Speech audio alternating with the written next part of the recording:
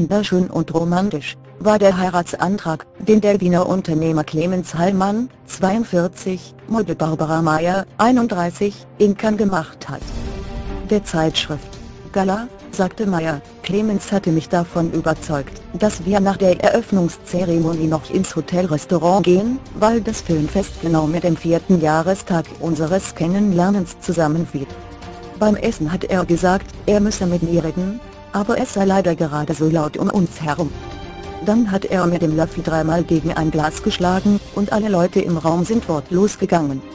Es sei mucksmäuschenstill gewesen, in dem Moment war ich total verwirrt. Das Buch Dein Weg zum Glücksgewicht, Bewegung statt Diät, von Barbara Meyer finden Sie hier. Die vermeintlichen 40 Gäste seien Schauspieler gewesen, erklärte Hallmann, ich wollte diesen besonderen Moment filmreif inszenieren.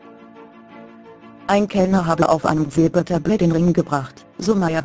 Clemens ging ganz klassisch vor mir auf die Knie und hat mich gefragt. Das sei, wie in einem Film gewesen. Ich habe zwar sehr schnell Ja gesagt, aber habe ihn danach eine kleine Ewigkeit nur mit großen Augen ungläubig angeschaut. Die Hochzeit werde wohl 2019 stattfinden, dieses Jahr. Schaffen wir es wohl leider nicht mehr, verrät Meyer, die sich auch Kinder wünscht. Über Größe und Ort für die Festlichkeiten sei sich das Paar noch nicht einig. Wir vermeiden die Planung noch ein wenig, um nicht zu viel zu diskutieren.